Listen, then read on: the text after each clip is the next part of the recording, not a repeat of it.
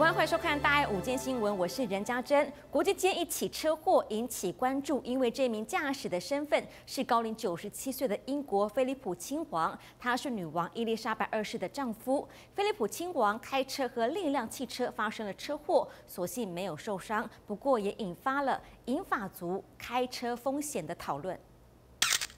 黑色修旅翻覆在路边，车头严重毁损。这台车的驾驶竟然是英国的菲利普亲王。Yes, 97-year-old Prince Philip, Duke of Edinburgh, husband to the Queen of England, was in a pretty serious accident. The good news is this 97-year-old royal walked away unhurt. 路边草地留有大量玻璃碎片，可见当时撞击力道有多大。高龄九十七岁的菲利普亲王周四在诺福克郡和另一台车发生擦撞，亲王驾驶的修理车翻覆，目击民众赶快把他拉出车外，没想到亲王竟然毫发无伤，只是惊吓过度，全身发抖。不过这一撞也撞出高龄长辈的驾驶安全问题。A lot of people continue driving well into their senior years, but the normal effects of aging can make driving more challenging. 视力、听力和反应随着年纪增长逐渐退化，这是无法避免的事实。但应该就此禁止银发族开车吗？专家提出建议。Check the medications. Some might affect driving. So if they're on them, you definitely need to consider how they affect the person. Stay up to date on eyeglass prescriptions and hearing aids. Also, make sure your car is working the way the driver needs it to work. 除了准备好自身所需物品之外，年长者可以选择尽量在白天开车，或是别在天气状况不好时出门，都能大幅降低意外发生几率。做好万全准备，就能尽情享受行动自由又安全的乐龄生活。大爱新闻黄金婷编译。全球人口增加，预估在二零五零年会达到一百亿人，因此有三十七名科学家推出了一份可以拯救地球的菜单，能够让所有人吃得健康，也可避免对环境造成的负担。菜单建议要大量增加蔬菜、水果以及豆类的摄取量，环保餐救地球。想要吃的健康，餐桌上食物要如何选择？Far too many people eat far too much of the wrong things, especially in the developed world. This contributes to obesity, to diabetes, um, there's malnutrition as well. 现代人外食重盐重油、大鱼大肉的饮食习惯，不仅危害身体健康，还加重地球负担。全球三十七名科学家就花了两年时间，参考十六个国家的饮食习惯，研究出一份救救地球菜单，目标拯救二零五零年世界一百亿人的健康。并减少对环境伤害。Of all the global climate change problems we're seeing can be attributed back to the food and the choices that we're actually making about what we eat on a daily basis. 希望改善地球环境，必须做出点牺牲，减少荤食，蔬菜、水果、豆类和坚果的分量提升一倍。而因不同地区会有不同情况，像北美的民众豆类数量要提升六倍，欧洲民众坚果则要提升十五倍。从坚果和豆类中摄取蛋白质。Half the amount of meat and sugar, and double the amounts of things like nuts and fruits and vegetables. 研究指出，全球农业占地近百分之四十，温室气体排放百分之三十。土地改为生产食物是导致生物多样性减少的最关键因素。畜牧业更是造成碳排的主要原因之一。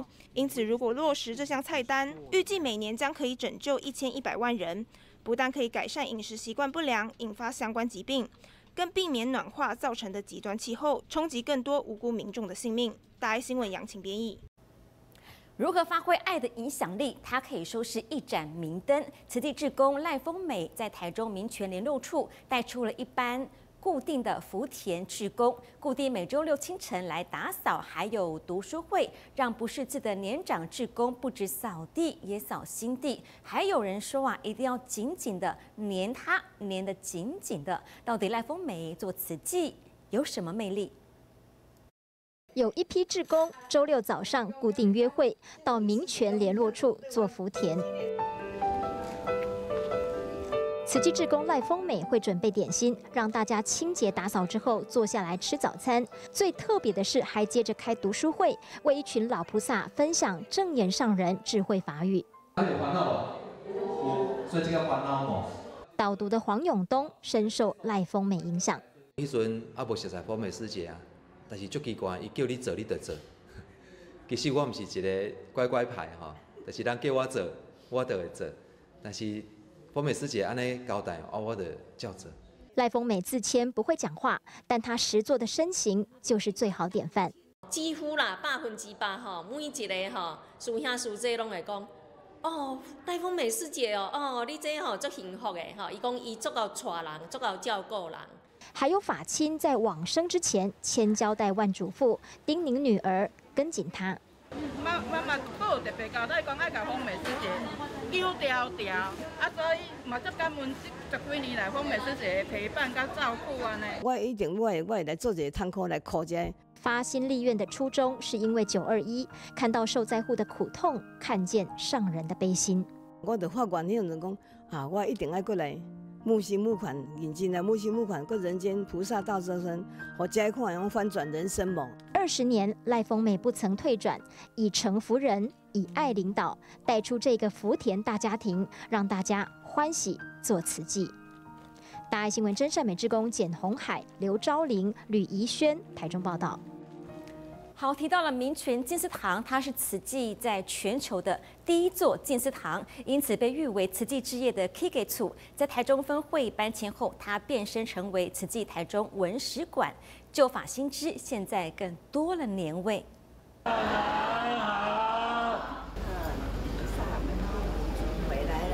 民权静思堂是慈济 K 给处，当年慈济在克难中成立，救苦济贫为先，无暇顾及会所布置。民权静思堂大厅三十七道品一贴就是二十多年，直到最近才更换。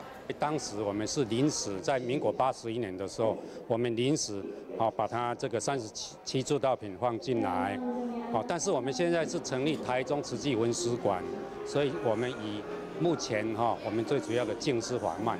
旧会所原有空间成立慈济台中文史馆，动线设计很有巧思，无障碍空间变成法华坡道，处处都能无声说法。穿的不错哦。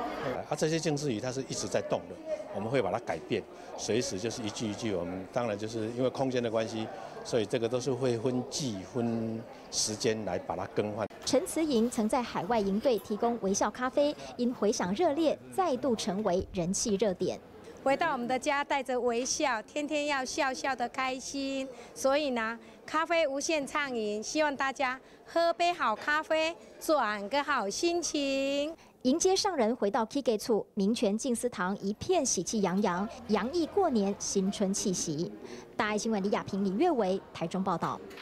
再看看这个是瓶中之父，他选择复出。慈济照顾户赖先生妻子脑出血，住在安养中心，他自己也因为射护腺疾病开刀休养四个月。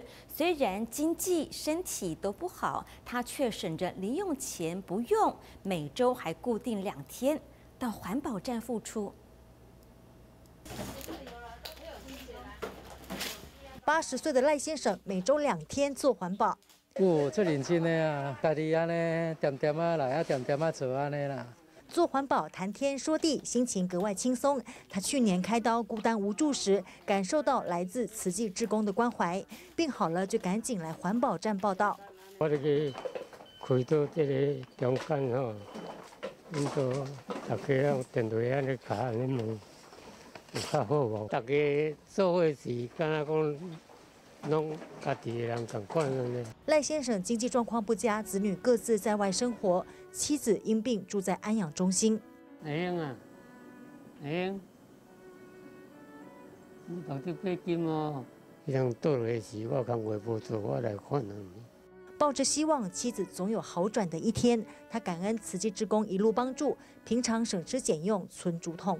啊，较甜啊，伊就当时啊摕去分花啦。啊，看拄着我，就讲师姐麻烦你甲我摕关安尼。啊，我讲好啦，啊，就阁继续。付出一点心力，为家人植福，也为他人造福。大爱新闻郭林万光辉台中报道。再回过头看看正言上人行脚台中民权金丝堂，主持岁末祝福，提及了九二一当年上人坐镇民权金丝堂指挥救灾。一晃眼将满二十年，上人再次提及莫忘九二一。岁末祝福，人品典范赖丰美上台分享心情。受政那年发生九二一大地震，全心投入救灾，因为上人悲心，他发愿广招人间菩萨。这么多年来，除了自己勤耕福田，广邀亲朋好友加入。我一路我都是拢用感恩、尊重、爱，我来陪人家。现在大家拢讲，阮这修行啊，慈诚。委员，我们慈济的法亲给予我满满的爱与温暖，我会传承这一份大爱的精神。九二一汇聚爱的能量，当年正言上人在民权静思堂指挥调度救灾，爱心啊，菩萨呢，从从地涌出，四方八达，南北呢。瓷器人呐，都集合在来到台大中部林，为何当我们这个地方的菩萨就开始展开了抚慰？慈济人深入苦难，抚慰安心也安生，只求众生得安得离苦。不为自己求安乐，那样的菩萨付出了无所求。正言上人一再提及，莫忘九二一，也要持续人间菩萨爱的大招生。大爱新闻黄子玲六写信台中报道。好，这是爱的家庭岁末祝福，六百多位慈地志工入金藏演绎，透过用心设计，突破小空间限制，展现同心一致。其中呢，志工陈明奇、沈素娟夫妻档带着高龄的父母亲、岳父还有妹妹，一家都是慈济人，六人齐心入金藏。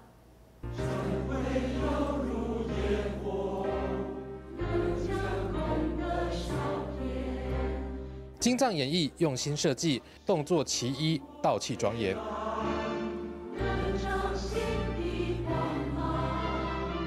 演艺队伍中，慈济之工陈明奇与妻子沈淑娟，带着高龄九十一岁的父亲、八十八岁的母亲，还有八十六岁的岳父以及妹妹一同参与，一家都是慈济人，非常高兴，非常感动，哎。啊，爸爸妈妈就是呃一直扶持我们呃做慈济，但一家人都是同师同志，好同行，对，哎跟着上人走就没错了。秉持着上人的理念，我们要用感恩的心做事，更要以爱人的心做人。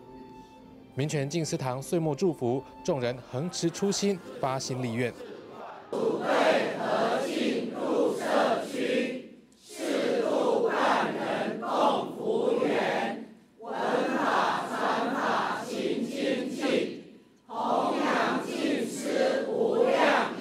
我需要你们，慈济需要你们，未来呢，就长长久久啊，延续下去，都需要你们呐。爱的能量，从出发的那一念心开始，但愿人人莫忘出发心啊。上人期许大家用心耕福田，菩萨道上继续精进。大爱新闻张国端、郭继宗台中报道。莫忘出发心，莫忘九二一。来看看这个故事：屏东慈地志工戴敦仁二十年前九二一时记录希望工程援建过程，二十年后他也七十岁了，走路得用拐杖，但是仍然坚持回学校做二十年的周年记录，这已经是一份使命。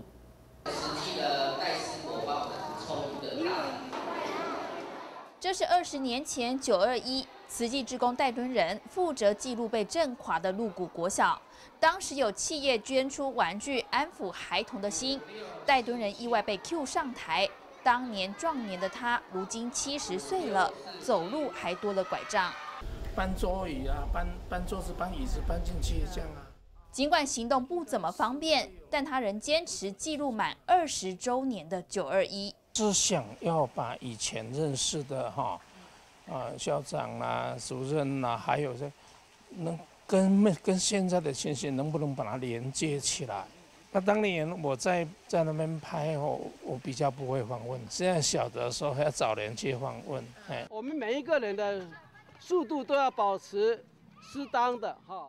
莫拉克风灾也满十周年，当初天天跑山林大爱园区的真善美职工陈雅萍回忆历历在目。用这个方法可以定小孩子来来克服，也是一个好方法。所以。现在十年后，我是真的很想再回去看看这些当年在骑独轮车的小孩，让这个呃社会的温度，好让大家的爱，好透过这样的过程，能够把它收集起来。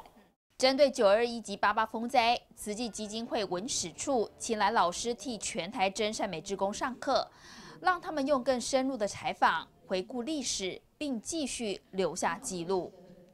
大家请进行王昭忠高雄报道。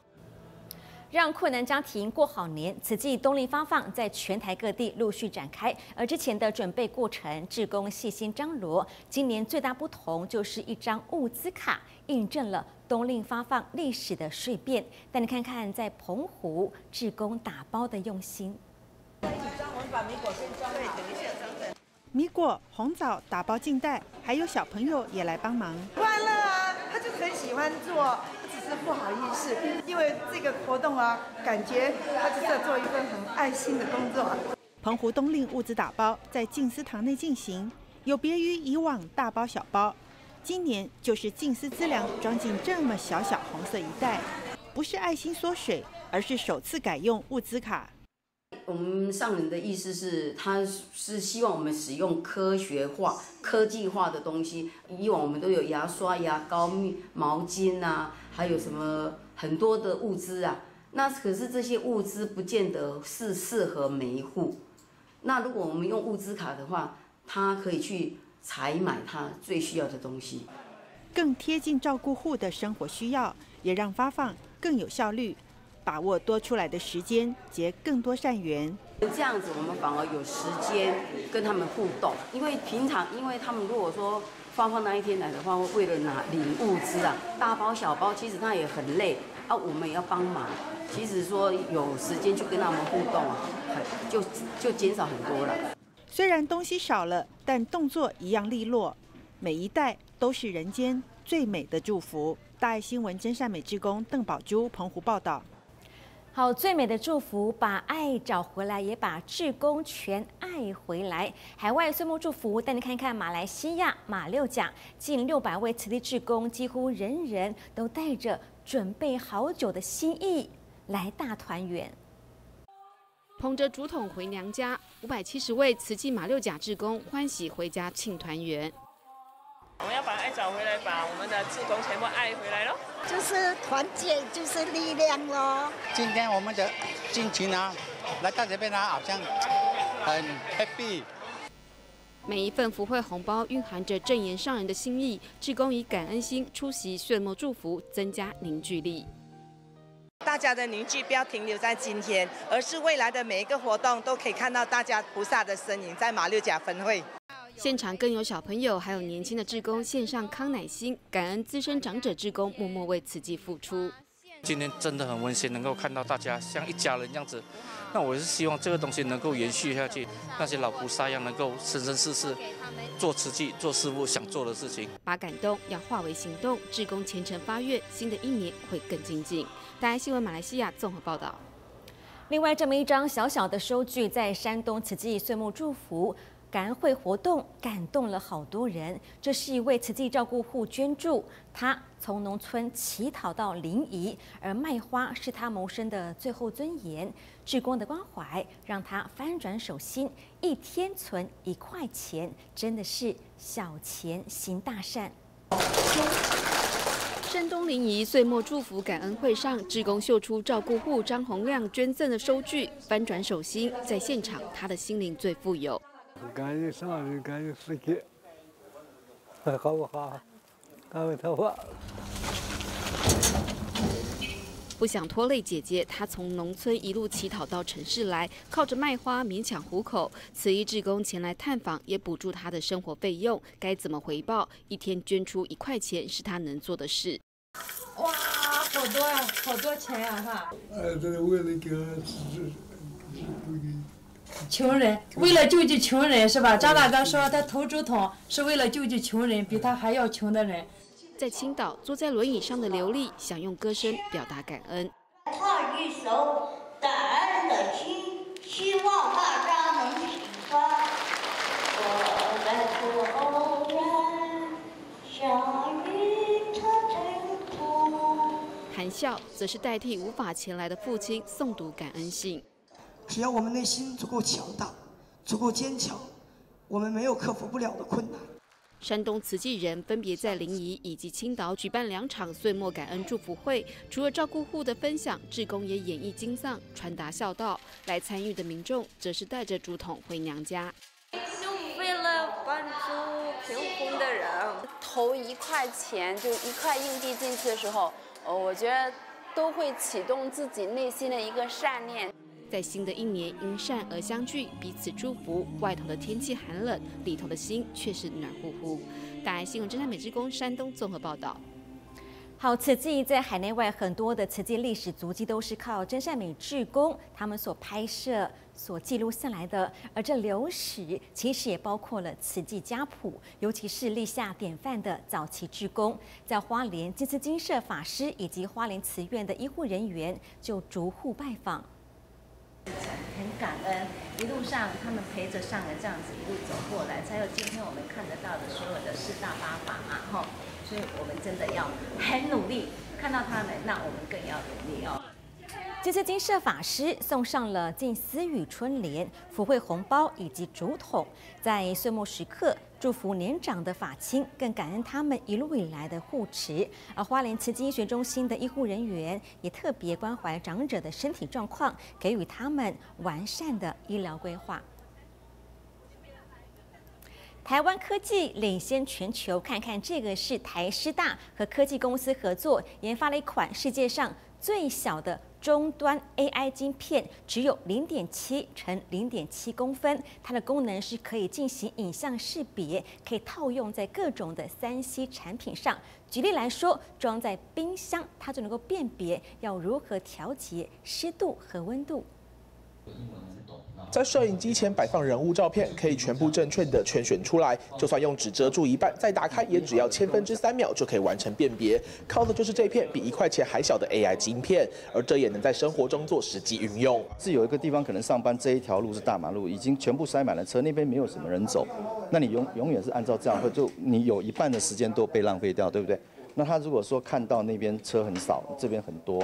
那它就会自动去调整，说让车多走多。那另外一边已经累积多一点车的时候，或者人的时候，它再启动过来。所以它就是等于一个交通警察。台师大和科技公司合作研发的世界最小晶片，只有零点七乘零点七公分，用途是装在手机、摄影机等终端产品上。加上特点是不用网络才能做到最小化，而操作过程是要先放上开发板进行反复学习。主控的 CPU、主控的晶片呢？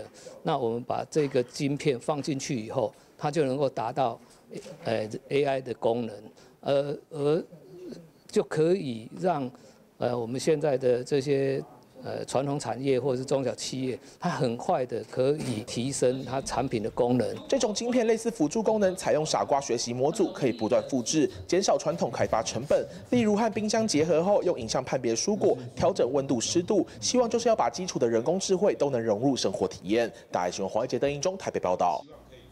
提到生活健康，糖化血色素是糖尿病患者用来监测血糖浓度的重要指标。而国卫院最新研究发现，它还能反映身体的功能衰退情况，成为老化的预警指标之一。意思是，如果这个浓度偏高，身体功能发生障碍的可能性每年会增加一点二一倍。只是其中的机转和关联性，国卫院还在研究阶段。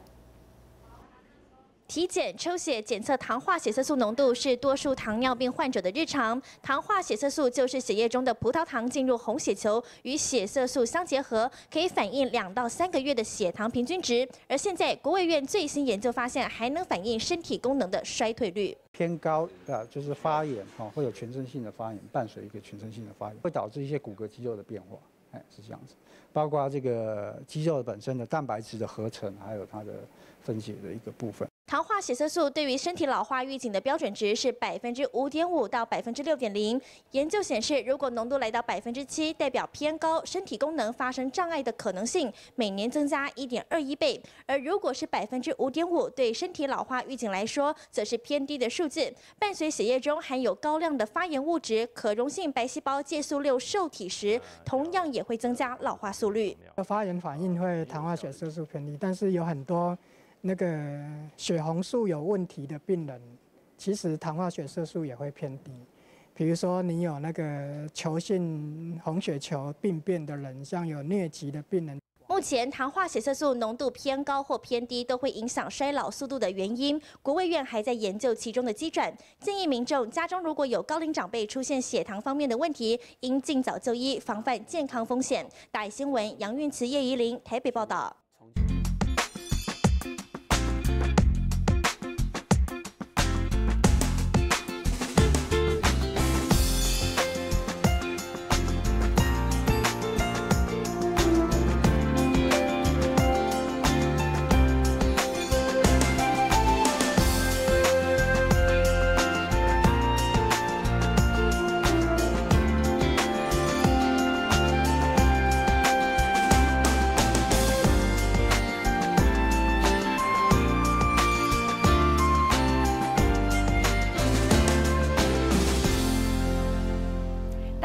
观众，午间新闻到此播报，暂时告一段落。大家台的观众，请继续锁定午餐会连线，马上回来。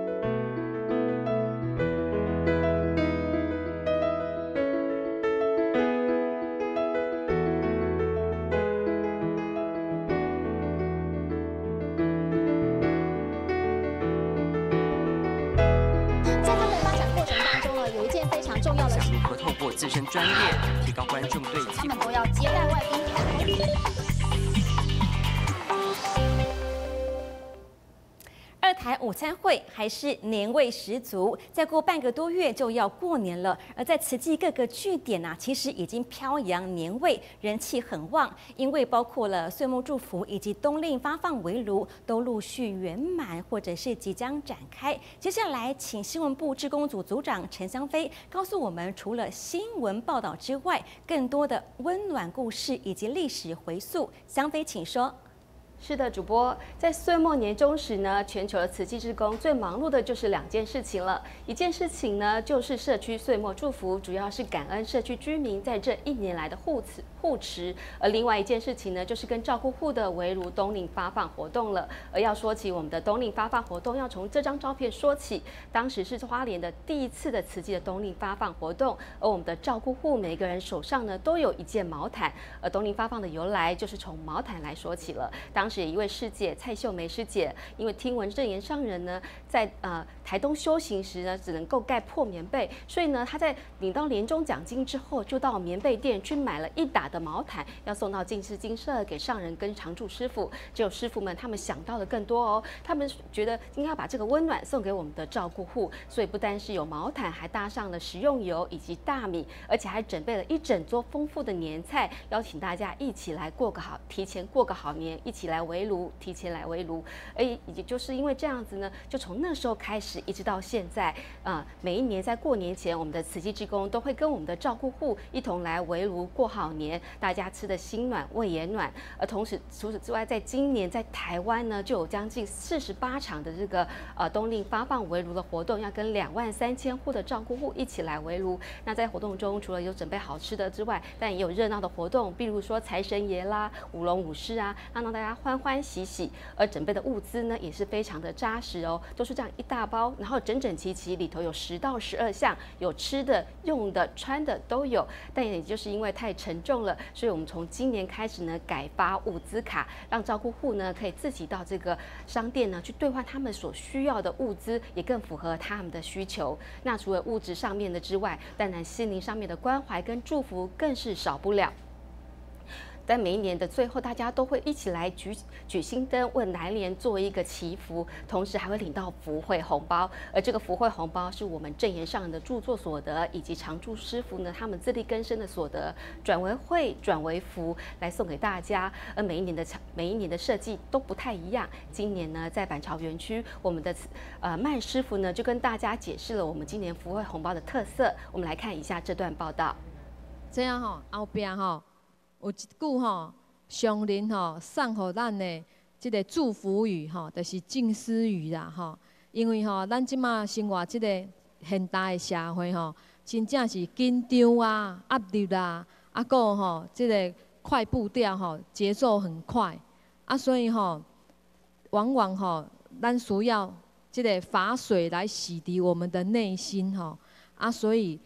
法水吼来解开我们的心结，然后安抚我们哈很呃这个不安的情绪。好，看一下哈，我们右手边哈有三粒的这个稻谷，好，这个三粒的切割镜哈，伊代表的意思就是讲吼，咱即马吼爱开始来修行哦，吼啊修行的这个次第吼，这个规定就是爱对信、愿、行开始。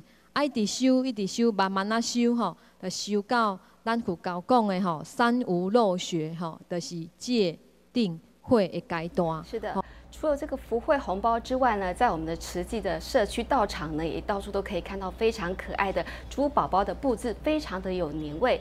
因为呃过年嘛，所以我们的社区道场有做一些精心而且用心的布置，希望大家能够来感受到过年的一个热闹的氛围。那除了这个猪宝宝之外呢，呃，在板桥园区，我们还用这个猪造型的气球来引领。这个民众来参加我们的岁末祝福，非常的可爱。另外呢，在现场也是我们的乐龄学堂以及社交中心的一个成果展现。大家所看到这个红豆暖暖包呢，就是由我们的长者用袜子做成的，然后要义卖捐助我们的国际赈灾。然后另外呢，在现场有很多 DIY 的制作，让来参加的民众呢可以呃自己动手做一些过年的用品，然后也非常的应景，非常的欢喜。每个社区都有每个社区的特色，但是呢，大家都有一个共同点，就是环保回收。再利用，你可以看到吗？这个竹筒岁月它是由回收的轮胎所做成的哦。只要竹筒一倒入，轮胎就会滚动，发出这个非常悦耳的声音哦，非常的有巧思，而且很创意，而且很很有趣。而另外呢，在双河的静思堂前面，大家都会看到这个水立方的这个吊装置哦。这水立方呢是由一千只的保特瓶所制作而成的，每个保特瓶都是我们的环保职工回收之后清洗，然后再把它堆叠而成。然后晚上时透过灯光会发出非常呃漂亮。的灯非常美丽的光线啊，非常的引人注目。而除此之外呢，在这个双，在这个新泰联络处的莲花星灯，大家注意到了吗？它也是用保特瓶做成的，而且今年已经是第二年使用哦。它透过灯泡，它可以呈现非常呃庄非常呃庄严的氛围，可以让大家感受到这个宝特瓶的好用。呃的一个也可以呈现不一样的风格。那除了这个保特瓶之外，还有这个海龟是用回收纸做成的，它在花莲的金丝堂，很多小朋友都很喜欢。可是你看到没？他吃的是塑胶袋哦。就这个小职工一看到，非常的震惊。他平常就是吃蔬菜、吃吃水果的呃小书童了，就想不到他最喜欢的乌龟竟然是海龟，竟然吃的是塑胶袋，对他来说是造印象非常的深刻。那也是一个环保教育的一个非常好的一个落实。呃，那除了这些布置之外，社区的人品典范也是大家期待的，除了他的影片，还有他的分享。那今天要跟大家分享的是在桃园的呃这位呃老菩萨呃许成秀，他已经七十岁喽，身高只有一百五十公分，但是他每天推着一百五十公斤的回收物来来回回走三公里。而究竟是什么样的动力，还有什么样的坚持，让他呃能够这样子越走越欢喜，越走越健康呢？我们来看一下这则报道。环保就是爱拖啊。不管是啊，即个环保车对我那真做哦，无什么休困啊。对啊，我出门就爱出门啊。哈，安尼好，我来。加油加油啊！谢谢啊。你 若无叫到，等下叫拢人三公里的路途不算远，走起来也不太累。如果一年三百六十天都在走，并且持续了二十几年，可就不容易了。但是许成秀做到了。这一群环保志工忘了年龄，忘了时间，心心念念只想帮师傅救地球。若袂有偌济钱吼，安尼想讲吼，真好，安尼哦上面要去帮助一寡人啊，安尼，嘿啦，啊啊，咱若票无吼，咱就想讲啊，上人减收入。一大叠的收据，一整本的感谢状，就是最好的见证。我讲，我若我收吼较远，我都拢会去啦。只要惊会到的，我拢会去啦。风雨不足啦，嘿啦。拍命无命无伊，就为着没有事去救地球啊！他靠着一双脚，每天来来回回走在同一条路上，衣服湿了又干，干了又湿，而这坚定的脚步，却是他哭干的泪水所换来的。我先生他走了哈，啊，经过七年，我大女儿又走，去食宵夜食食，啊去砸掉，发现的时阵都已经。没有呼吸啦，嗯，所以讲我讲有话无得讲，有苦无得诉，就是安尼啊，有有无当讲啊，是不是安尼？走个安尼。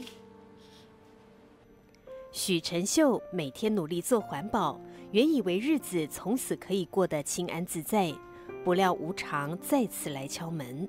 啊，第三后生那进前四五年前走去，说车有弄着，我想讲咱。做无着这困境了后吼，俺想讲环保紧做紧做吼，啊心就会较清较开安尼啦。一在环保车杀出去，讲袂想嘛是骗人的啦，对无吼？想讲咱今仔日哪会碰到即款的安尼，两个囝拢甲咱离咱离离咱做入去安尼。我就听师傅开始讲吼，人啦敢若风吹共款啦吼，伊讲若是该去的时阵，你就互伊飞互伊去啦。莫甲伊白了的安尼，若无讲六日主祭吼，啊师傅讲迄话吼，互我安尼心清气吼，啊心放开吼，真正迄阵啊都毋知要安那。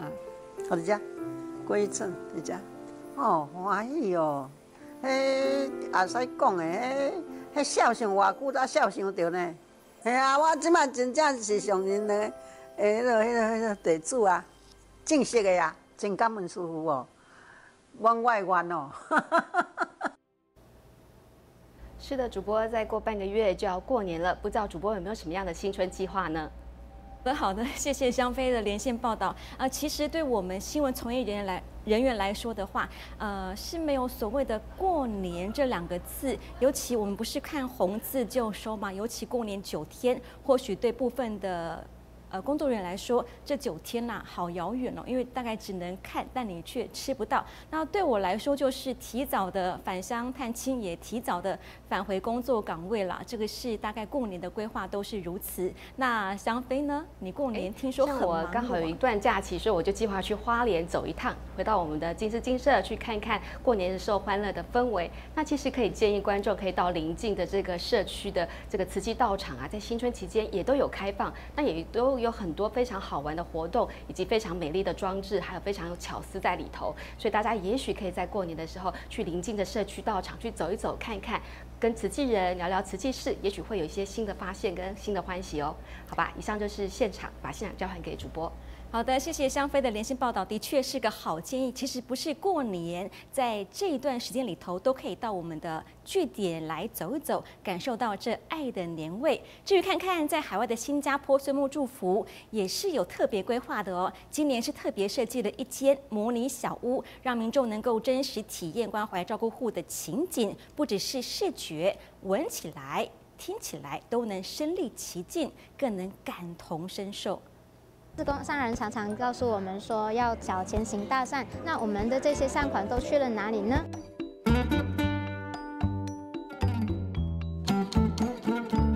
模拟慈济志工访视照顾户的情景，让民众有机会亲手交上物资，对小钱行大善的概念更深刻。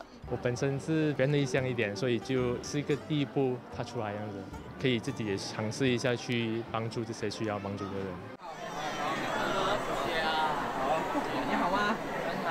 他们基本上有些连船都没有的，都是掉第三的。可以想象到可能一进去的那个感受那种味道，一开始我相信职工们并非马上可以适应的，蛮感动的。我们就是想让会众有机会走进这样子的一个暗角哈，让他们亲身的去体验，也希望可以营造真实感。所以呢，我们这边有准备啊这个风油啊，老人家会用到的啊，然后还有那个衣服的那个霉味。啊，所以好像这些我们就会采集，就是就是去收集哈啊比较旧的衣服，然后都有一些味道的哦，你可以闻闻一闻啦。这样。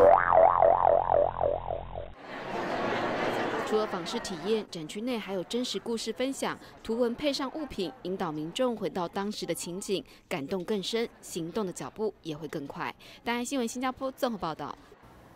也是走得快，高雄市爱国国小游群学生自愿成为卫生小尖兵，每星期至少两天牺牲午休时间组队巡视校园。或许你也好奇，他们的任务是什么呢？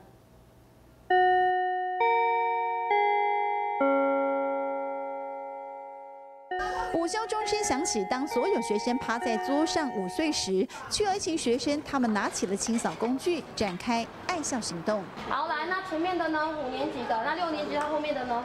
好啦，那我们就只准备出勤，OK。五六年级加起来大概有二十二、二十三位学生，他们会去帮我巡视校园有没有积水容器，然后还有一组是要帮我巡整栋校园的那个洗手台。学生自愿当起卫生小职工，看到积水容器立刻清除，积水地面也会马上拖地沥干，这样可以让学校更好，然后更干净。啊，所以你做的怎么样？做的认为很快乐、很开心啊。有的则是拿起夹子、水桶，仔细巡视校园，把地上垃圾一一捡起来；有的是以洗衣粉泡水倒入水沟，改变水质，清除病媒蚊滋生源。为学校服务很开心呐，然后也可以让学校整洁，这样。每天来学校的时候，上课看到很整洁，都很开心。可以照顾一下这里的环境，毕竟这也是大家共用的场所。透过他们团结合作的方式，可以达到共好以及互动合作，最后可以让他们可以自主行动的为自己的未来的学习做负责。这样志愿服务的清洁工作，每星期至少两天，看到学校环境卫生越来越好，即使没有报酬的付出，学生乐在其中，培养志工精神。大爱新闻学院林道明高雄。报道：治疗肾结石一届的新趋势是一种透过软式输尿管镜的治疗方式，没有伤口，清除率高，更没有年龄和疾病的限制，一次就可以完成治疗，而术后的不适感也减少很多。是说这个酸酸的就会想着啊。六十一岁黄女士近三个月来时常这样搓揉腰间，因为生活中总是伴随酸痛感。始终觉得在腰酸酸酸，偶尔又会痛一下。你姿势不对的话，好像你就会磨到石头。双侧都有结石嘛，那右边是一个两公分的石头，那左边有三颗石头。那先前来我们医院就诊的时候，我们还是有帮他采用一个大家最常用的体外震波碎石的方式，不过那次的效果并不好。